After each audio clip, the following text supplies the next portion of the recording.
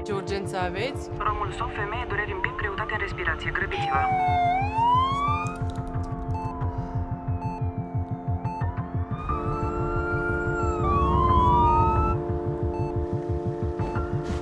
Am exagerat.